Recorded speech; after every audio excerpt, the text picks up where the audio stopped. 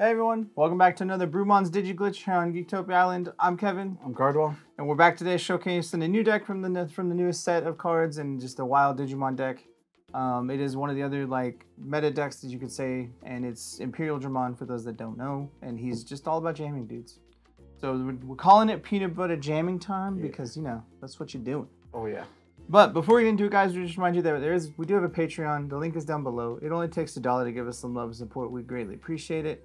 Also, in our Patreon, you'll see like deck list early. You'll see the link to our Discord and all kinds of extras that we have down in our Patreon. So go check it out.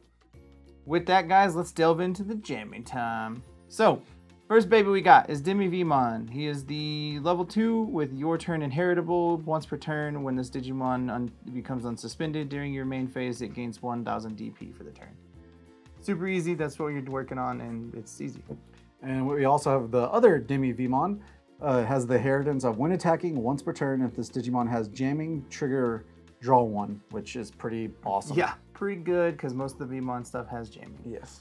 Uh, next is Elecmon. He is our level three, first level 3. He is 2 drop 3000 DP, Digivolves for 0, and he's super just a chill dude. That's all it, just gets in there. Mm-hmm.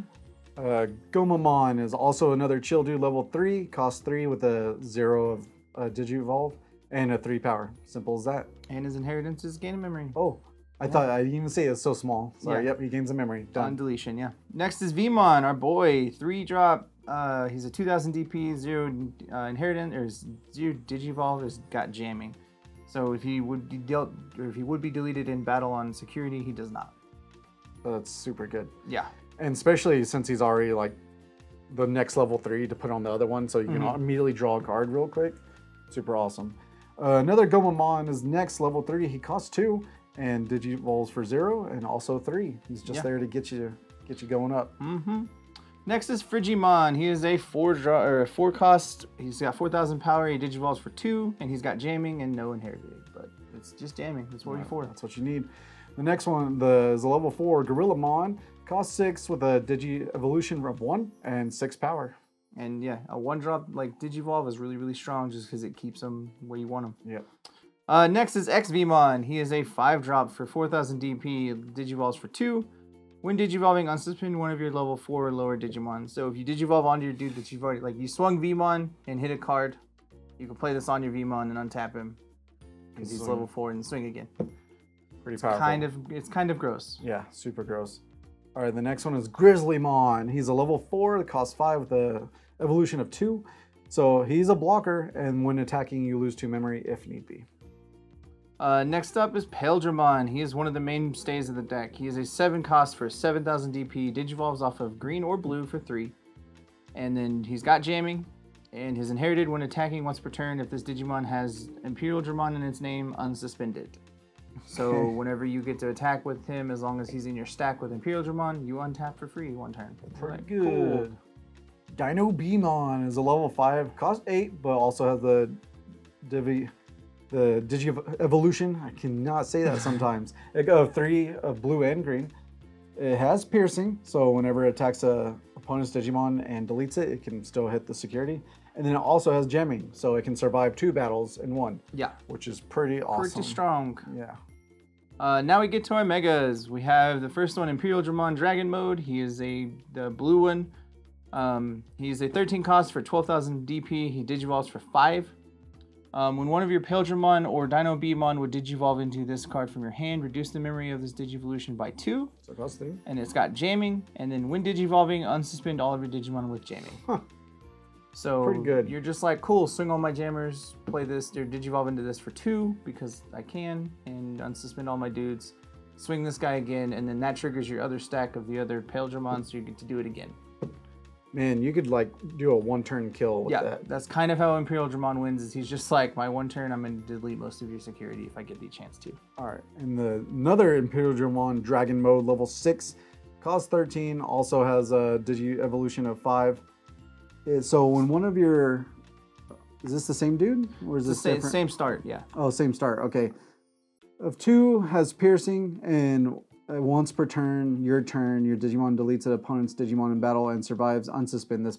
Uh, wow. So with piercing, you can just keep hitting all their dudes. So the green one has the same effect that you get a Digivolve for cheaper off a Paildramon or Dinobeemon, and then if he survives, you kill it. Like if you kill a dude, you can just hit their security too. Yeah. It's pretty strong. Um, we are playing the one Omnimon in case you need to kill some threats because, he Digivolves off of blue. Why not? Uh, he's 15 and 15 DP, and then when Digivolving, choose one of your opponent's Digimon, delete all of your opponent's Digimon with the same name. When attacking, you can return a level 6 to your hand to unsuspend this dude, which is kind of silly because then you're like, cool, Digivolve my.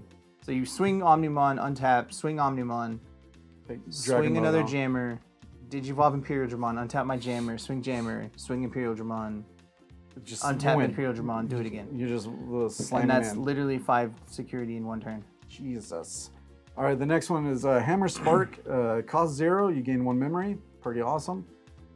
Simple. And of course, security, you gain two memory when it's hit. And that card is the main breaker of people's turns. Yeah. Because if it's in security and you're like at one, you're just like, cool, guess what? It's my turn. Yep, thanks. Hope you didn't want to do things.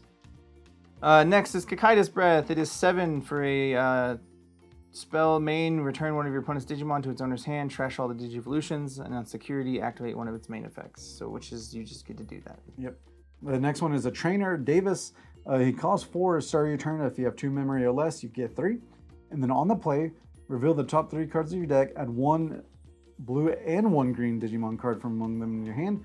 Place the remaining cards at the bottom of the deck in any order. And then, of course, with security, just play this without its memory cost. Yeah. Simple as that. Davis is super strong for the deck because Yeah. he goes and gets you either the Dinobeemon, the Imperialdramon, or any other blue uh, dude. Just all two, and two cards, pretty yeah, much. You're just like, cool, I played Tamer, I get two cards for free. Yep. Sweet. Overall, this deck is super strong. It's super aggro. We have a dude that plays it at our locals, and it's really, really a good deck. It just Yeah. it just gets there really quickly, and you're like, cool. I'm gonna make sure my dudes don't die, and I get to draw free cards from jamming. It's very. uh, This deck looks ridiculous.